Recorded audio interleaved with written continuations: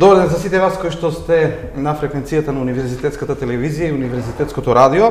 Продолжуваме со разговори со студенти кои што на некој начин треба да пренесат приказната за Еразмус плюс размена, за искуствата кои што ги имале во универзитетите во Европа. Нормално на тој начин да ги пренесат искуствата, но и да дознаат сите оние кои што не биле, дека е убаво таму. А, се разбира, дури јас и Саше, доколку дознаеме убави нешта, ќе се одлучиме да одиме иако не сме студенти. Да, Саше се согласува.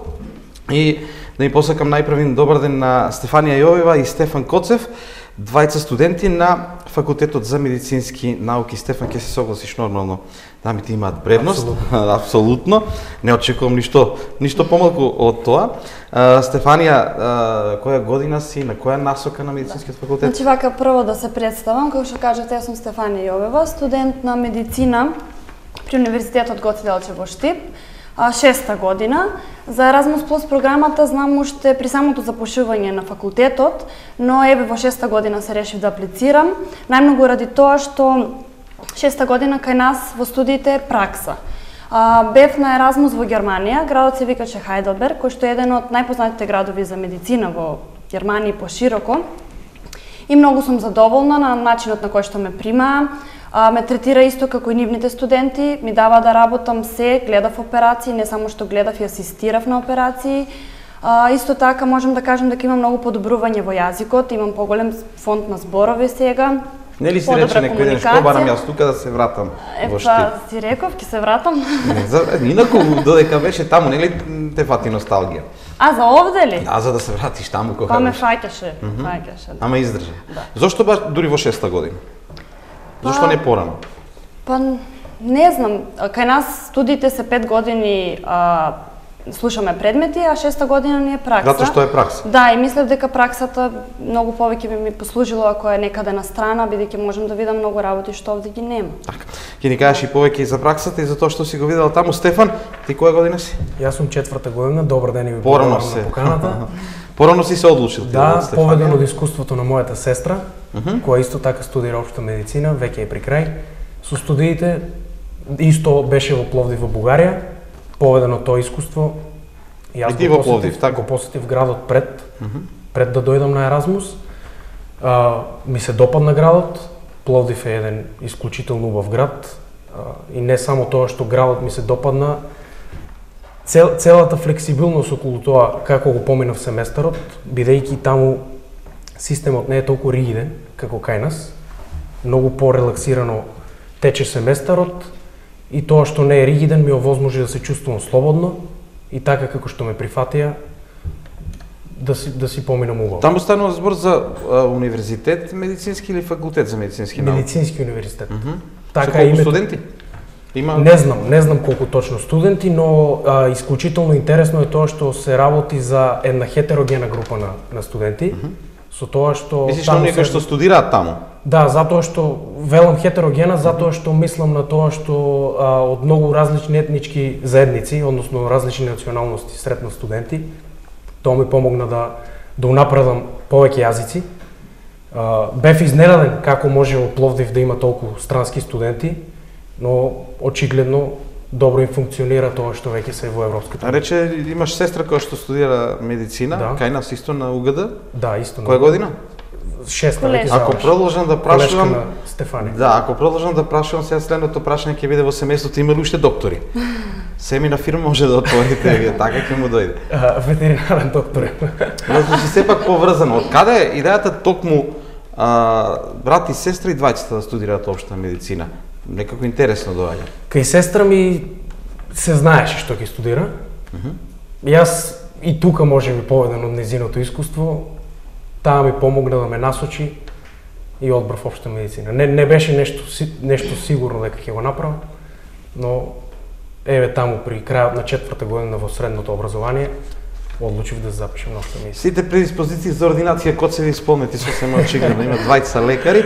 А, Стефанија рече во Хайделберг или Хедебре, како и да го кажува таму. А, какво искуството во поглед на тој наставен процес и на праксата која што има бидејќи пракса еве во Штип се гради нова болница вела дека тој дел кој што е стариот ќе се додели на универзитетот па студентите да имаат пракса. Како е таму организирано сето тоа? Па не знам, мислам дека докторите многу повеќе посветуваат внимание на студентите Дали дека Докторите посветуваат внимание, меѓутоа, која е разликата во тој дел со она што го имаме овде, во практичниот дел? Дали многу повеќе имаат пракса Многу не по- само во шестата година, туку и порано? Да, нормално имаат многу повеќе пракса. а, па, мислам дека имаат повеќе апаратура со оглед на тоа дават многу повеќе да работат студентите кај нас. Тоа не е така. Не Јас знам дека многу студенти ќе кажат таму кога ќе отидат, бидејќи овде најчесто асистирање многу не им е дозволено, Не, да. а таму веројатно Таму повеќе доз- асистирање. Да, да, дозволено е. Што значи за тебе лично ете тоа искуство таму што го доживее? Сега кога се врати.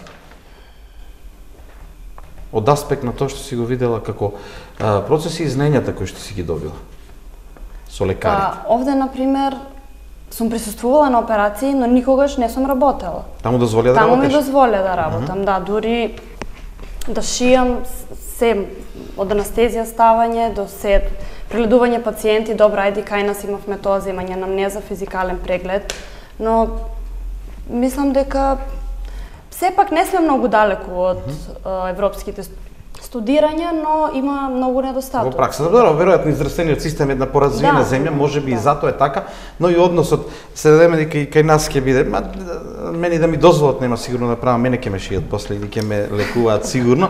А, добро е што сакате работата очигледно, значи Да. да се студира медицина не е едноставно, не е тоа правен факултет или новинарство како е што сум учил. Мојата грешка може би нешто ќе направи, но вашите грешки би направиле многу тешки последици. Затоа е важно, сигурно. Е, Стефан, сега да се вратиме на Пловдив. Таму дали имаат во состав на универзитетот поликлиники или се врзани со некои болници кои Вака, имаат таму? а, универзитетот во Пловдив, медицинскиот универзитет во Пловдив е многу добро структуриран. Бидејќи сега штета јас студирав во предклиничка програма се уште, бидејќи во трета година заминав. Така? Не, немав можност да го видам сето тоа што еве на пример Стефанија успеала да го види таму каде што била, затоа што во предклинички предмети се уште се занимаваме со она што е повеќе научно. Имаш можности ќе ја прашаш сестрите, ќе ја прашаш Стефанија, ќе каже и ќе отидеш во Да, ќе ми нова Хеленберг насока. и ти е готово. Да. Така да работите, вие сега ги пренесувате знаењата на искуствата на останатите. Треба да ја прашам и е, друга работа, е, секако се оди таму да се научи нешто, меѓутоа и да видите што може да се види во Хайделберг, бидејќи и тој дел од Еразмус размената е многу, јасно, важен. Да, да. Па пред се градот е многу убав. Стварно има многу што да се види, каде да се прошета, бидејќи е студентски град, има многу организации за студентите и се. Дружењето исто многу битно, стекнеш многу пријателства од цел свет, буквално. И на секој би му препорачала. Тоа е едно искуство што никој не смее да го испушти. Каде беше сместен? Па бев сместена кај роднини. Да.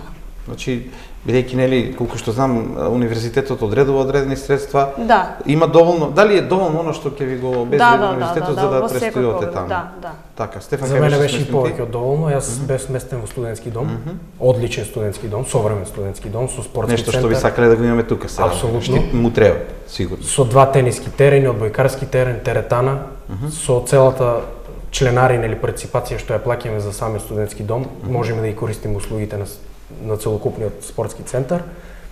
А, освен што беше одличен и современ а, студентскиот дом, веќе реков, одлично беше и структуриран самиот факултет. Секој предмет си имаше своја собствена катедра, каде што можевме да видиме работи кои што на вистина овде сме немале можност да ги видиме.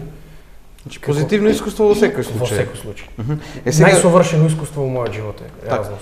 а, Пловдив како град, секој нели рекош ќе рече па добро Бугарија, ама и Бугарија не е тоа што била да речеме пред години. Веројатно малку Јас сум јас сум изненаден, баш затоа ви кажав. Затоа и прашувам така. Ми се дека така.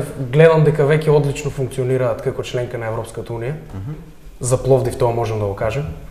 Затоа што сретнав една хетерогена група на студенти што ми овозможи што ми даде многу нови знаења и умења. Е добро, таму сте забележале студенти, веројатно во Германија, во Германија, во Германија колку има странски студенти, говорам што студираат таму? Да речеме, дали се повеќе од Германија што студираат во Хейделберг или има и странски студенти од други европски држави? Нешто Мислам се дека- на Еразмус да Мислам студираат. дека има многу странски студенти. Не знам вака да спорам, Така. но мислам дека има многу странски. Дали имавте посебно нешто да се дружите со Еразмус студентите? Колку имаше на размена студенти? Во Пловдив од имаше, Македонија? во Пловдив имаше Да, и- неколку групи за Еразмус студенти што организираа патување низ Бугарија. Еве пример, јас посетив ја посетив планината Рила и Селните Рилски езера, mm -hmm. заедно со цела група од Еразмус студенти и уште многу такви се организираа забави исклучиво за Еразмус.